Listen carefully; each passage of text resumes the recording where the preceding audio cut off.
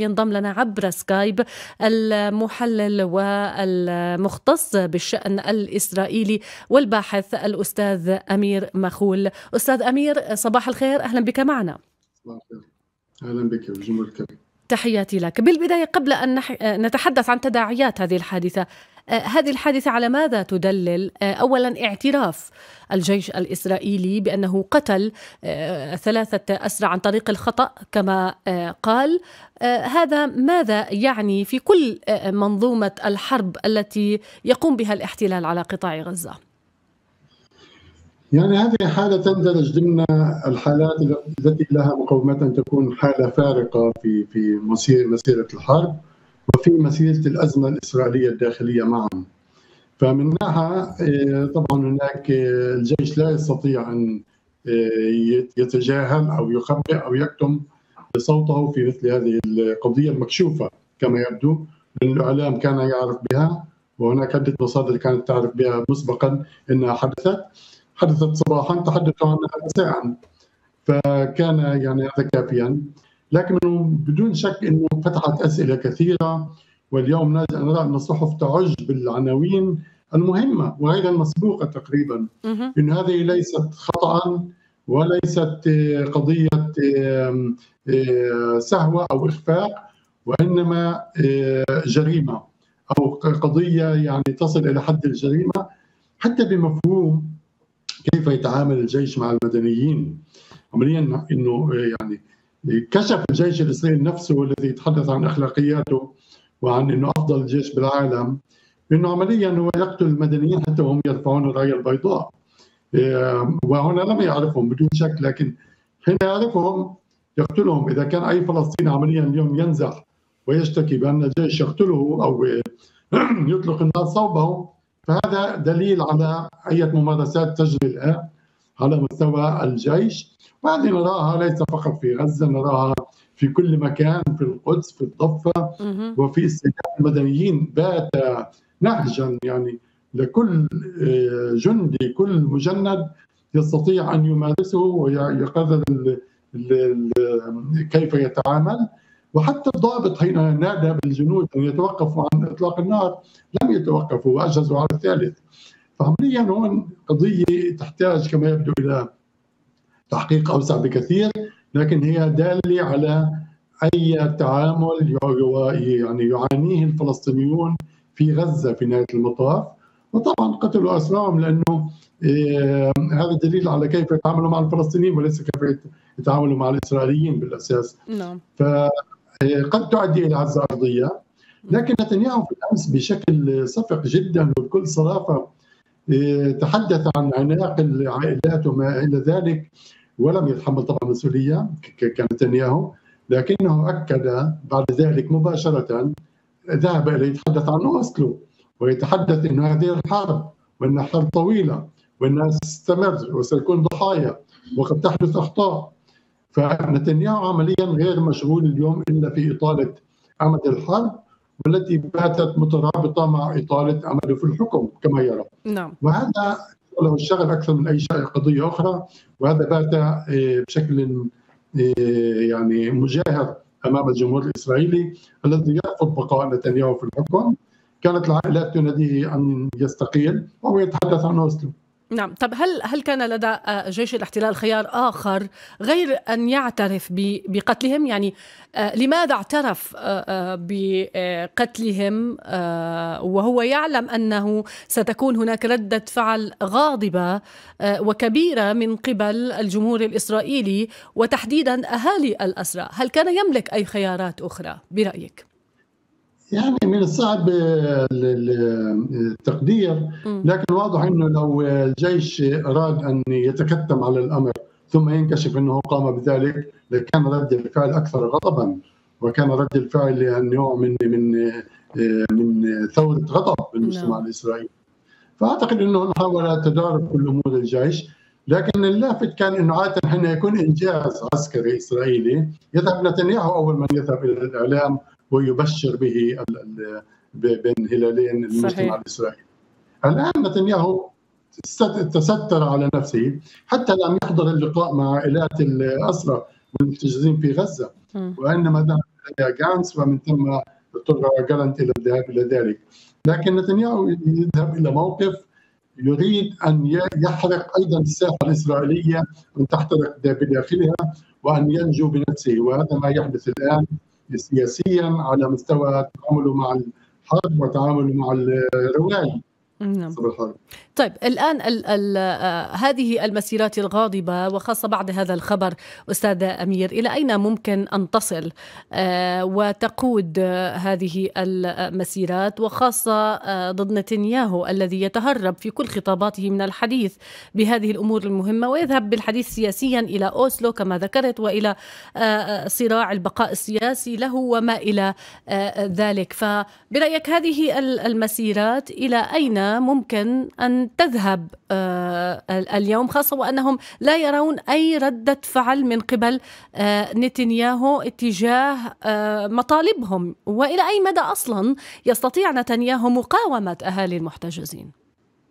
يعني حين يهرب إلى أوسلو هو لا يقول كلاما غير مهما وغير خطيرا هو يقول كلام خطير جدا ويعني أنه لن تقوم دولة فلسطينية لن تكون سلطة فلسطينية لا في غزة ولا في الضفة الغربية بهذا المفهوم عمليا أنه يتهمها بشكل واضح.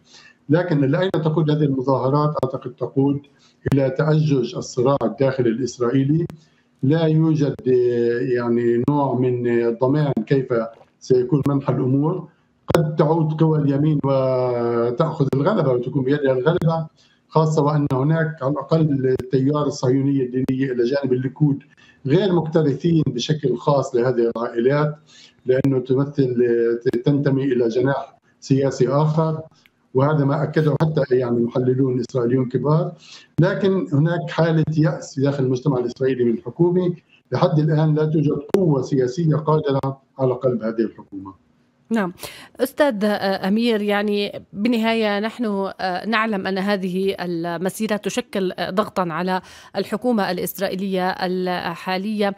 لكن واضح انه نتنياهو كما ذكرت هو ماض في سياسته وبخاصة تصريحاته بأنه قال تصريح بما معناه أنه هذا الأمر لن يؤثر على الحرب على قطاع غزة. فنحن نعتقد بالضغط العسكري فقط نستطيع أن نحرر باقي المحتجزين والرهائن كما اسماهم لدى حماس بمعنى بأنه لن يستجيب للشارع الإسرائيلي لكن هذا تماما ما قاله الشارع الإسرائيلي في الأمس في المظاهرات إنه هذا هذه المقولة من نتنياهو تعني عودة جميع المخطوفين أو المحتجزين قتلى وليس على صحيح. وهم احياء وهذا ما آه، الرواية المقابلة. أعتقد من الصعب أن نتنياهو يواجه ذلك سيضطر إلى صفقة جديدة وهناك حديث عن صفقة جديدة ستكون أو إعادة صفقة سلسلة من الصفقات. آه، آه، تشمل يعني كبار السن تشمل بعض الجنود وبعض الأسرى كبار السن. لكن هذا الآن وهناك مطلب بات واضحا أن العائلات بدأت تطالب بوقف اطلاق النار وليس بصفقة وليس بهدنه وهذا اول مهم أعتقد في الأمس في سمعنا في الأمس. هناك قضية أخرى طرحها نتنياهو في الأمس وهي استخدم لأول مرة مصطلح حول مصير غزة بعد احتلالها وتدمير والقضاء على حماس مصطلح الإدارة المدنية منها الازرقي وهي المنظومة التي تعمل في الضفة عمليا هو يريد منظومة احتلالية وليس منظومة حتى فلسطينية ما نعم. يتحدث عنه.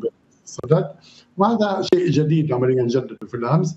لكن أعتقد أن نتنياهو لا مستقبل سياسي له ويدرك ذلك إلا إذا بالعربده والقوه على مستوى الإسرائيلي الداخلي. نتنياهو يتحدث في الأمس في المؤتمر الصحفي إلى جمهور اليمين أقصى اليمين إلى جمهور الليكود إلى جمهور الصهيونية الدينية وبن كفير وسموتريتش ولم يتحدث إلى المجتمع الإسرائيلي. وبذلك قد يخفق بشكل كبير. يريد أن يفتح جبهة أخرى أنا اعتقادي الاتجاه الإسرائيلي الآن ليس عقيدة هانيبال وإنما الاتجاه هو أكثر انتحاري يعني أقرب إلى عقيدة متسادة نعم. التاريخيه اليهودية في الروايه اليهودية وهي التوجه الانتحاري علي وعلى اعدائك يا رب لأنه لا يملك أي أفق لا يملك أي خيار وهانيبال عمليا يأتي لتدارك حدث استراتيجي يعني حدث تكتيكي قتل الاسر والاسير لتدارك حدث استراتيجي لكن الآن الحدث الاستراتيجي هو سيتوقف ولا يوجد أي جواب لدى حكومة إسرائيل ولا يوجد أي جواب أيضا آه، لدى حكومة الحرب الإدارة الأمريكية تحاول أن تمد نتنياهو لكن آه، لحد الآن هذا غير مقبول وأيضا الضغط الأمريكي يتراجع لأنه بدأت تدخل في سلسله الانتخابات.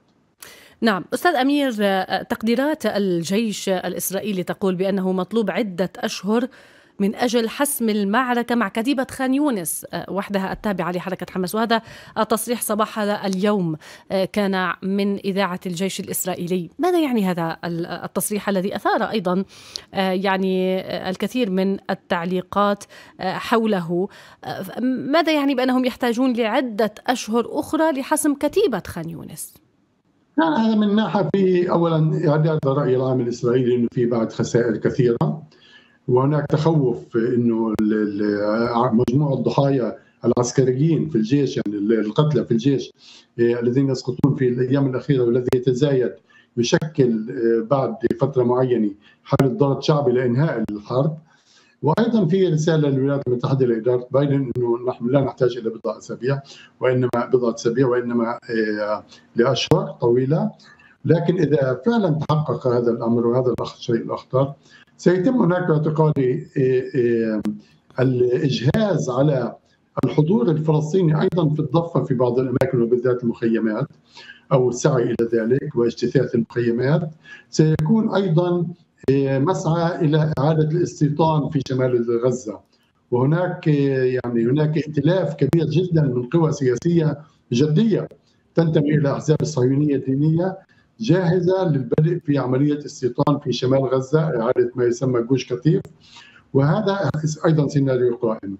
لكن بقاء الجيش في عدة اشهر أعتقد سيدخل إسرائيل سيقرب موضوع الحرب الإقليمية أو حرب واسعة متعدده الجبهات مع إسرائيل.